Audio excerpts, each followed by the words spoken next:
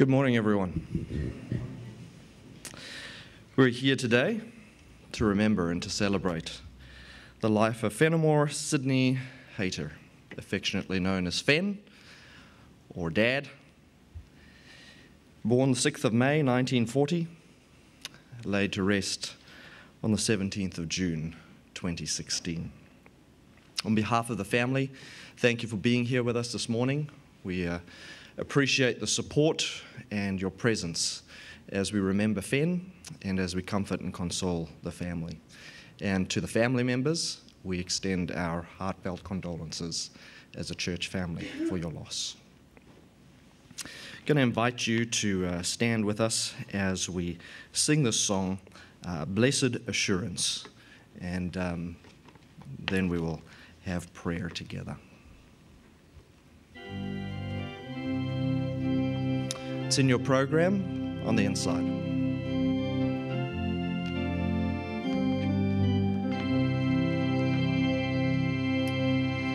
Blessed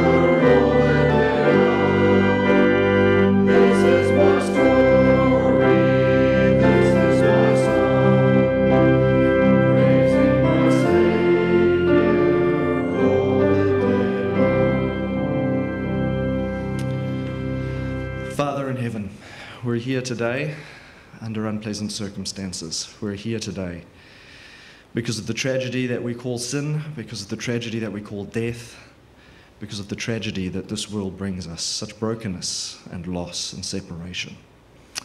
But we are here today, Lord, because in the midst of the grieving, there is joy. There is remembering your kindness and your goodness to this planet and to our lives in bringing Fen into our circle of influence. We're here together, Lord, as a church family and as a biological family. We're here because we want to say thank you. Thank you for the time that Fen has been with us, for the time that we have had with him. And of course, we are here, Lord, because we need healing. And we invite your presence as we have sung the song, Blessed Assurance, Jesus is mine. We invite your presence to keep uppermost in our minds that indeed Jesus is ours, and indeed Jesus is Fen's. That Fen was held in the arms and in the hands of Jesus. And because of that, there is blessed assurance. So be with us this morning. Be close to this family. In Jesus' name, amen. You may be seated. Thank you.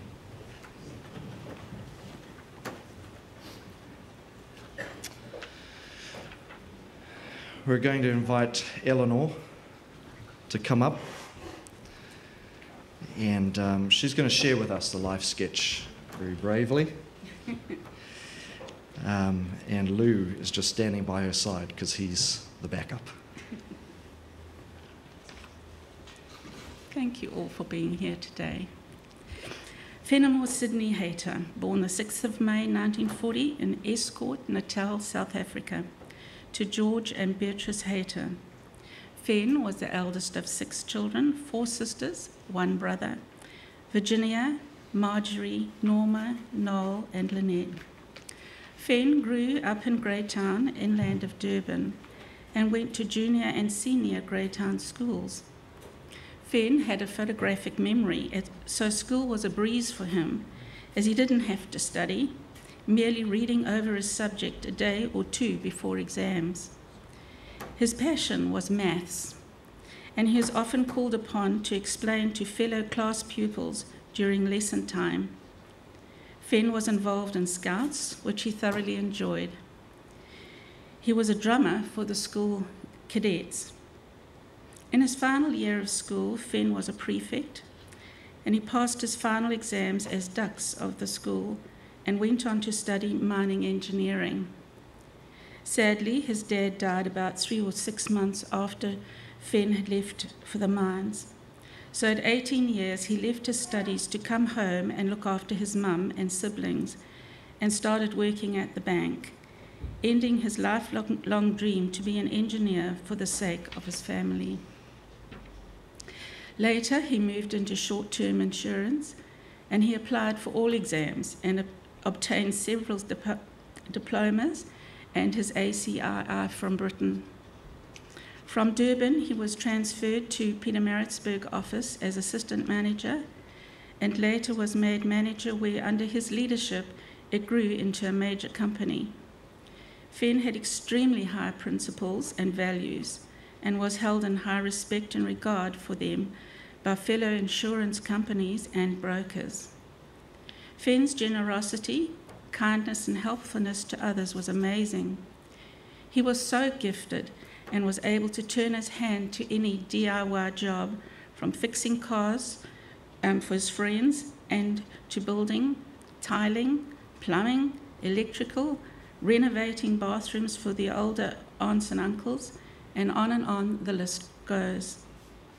Fen loved to go driving, so we travelled the length and breadth of South Africa with our caravan. The greatest and most wonderful blessing in Fen's life was his family Gareth, Darren, and myself. He always put us first in all things. He was adamant that I stayed at home to care for our sons. They went to Merchiston Prep School for boys for junior school, and Fen tutored the young boarders twice a week during the evening prep and homework time. He so enjoyed those times sharing his skills. When he was 49, he was baptized with Gareth at the Trelawney Church in Pietermaritzburg. Fen was transferred to Johannesburg after being in Pietermaritzburg for 17 years. Johannesburg was not a good place for us, and after three years, we moved back to Durban.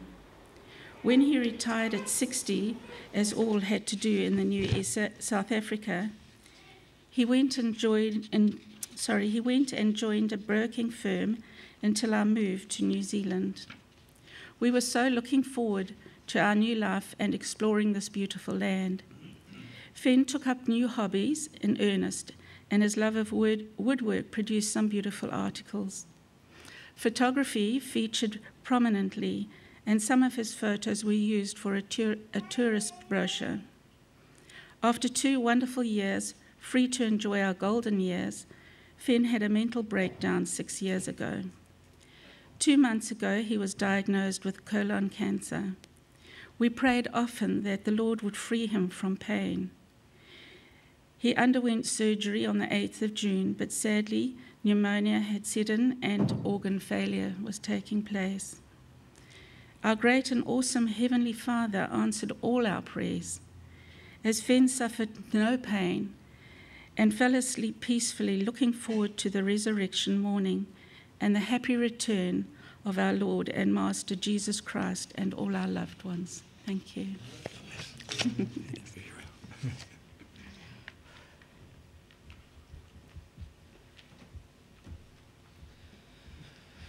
In a moment or two, we're going to open the floor for any of you who would like to share just a brief story or thought uh, with the family, just a minute or two. But before that, we're going to let the family, um, the boys, speak to their dad's remembrance. Gareth?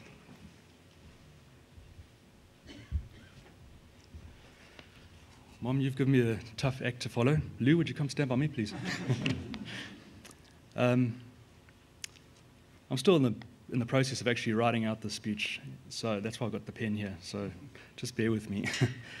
um, most of you sitting here in, from Whangarei never actually met Dad, the dad that we knew all our lives. So I'm going to try and give you a bit of a, an idea of, of who he was. Um, I can sum Dad up in, in one word, which is time. He had time for family, always time to help people, time to teach, and always with a sparkle in his eye. This is where I start deviating from what I've written down. So I'm going right to the end here, where I sum Dad up. I'm just going to read a few facts about him before carrying on. Um, Dad spoke English, Afrikaans, Zulu, Fanagalo.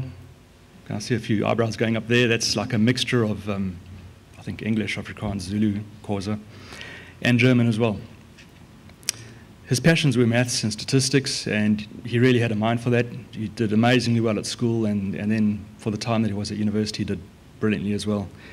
Um, because he couldn't carry on in his, in his career as, a, as an engineer, um, he looked for outlets where he could use those skills, and that usually came down to, to helping and teaching others who weren't getting the concepts as quickly as they wanted to. Um, he helped uh, one of his nephews, Wayne, um, and he's now a headmaster of one of the leading schools in South Africa. He's helped so many others over the years, and as Mom said, he, he even uh, tutored at school for the, for the long term boarders as well. Um, Dad was always extremely optimistic. Absolutely nothing could get him down. Absolutely determined. Um, in fact, just before he broke down, I was walking with him on the beach, and I just said, Dad, I look up to you so much because you just never give up. He's also extremely naughty, uh, especially in his youth. I may share one or two stories here, but there's probably dozens of others that I cannot share at all. Uh, but speak to me afterwards. Um, Dad is always the, the quintessential gentleman. Um, when he worked, when he went to work, he was always impeccably dressed, um, suit, tie, everything perfect, not a hair out of place. And in, in doing his work, fastidious and um, very, very good with what he did, but treated everyone with absolute respect, with manners, with courtesy. Um, and one thing he couldn't tolerate was when people swore around women. He, he didn't handle that. Dad was an athlete. Um, I think his, his claim to fame was really the hurdles. He, he shone in that, uh, but also sprinting and a few others as well at school. Car fanatic. He absolutely loved his cars and until he met mom, I think cars were his absolute passion in life. Um, after he met mom, they, they were slightly demoted. Um, but he even went to the extent of, I mean, his cars were so clean that he used to uh, clean the suspension of the car with a toothbrush as part of his cleaning regime. You know, he just full on.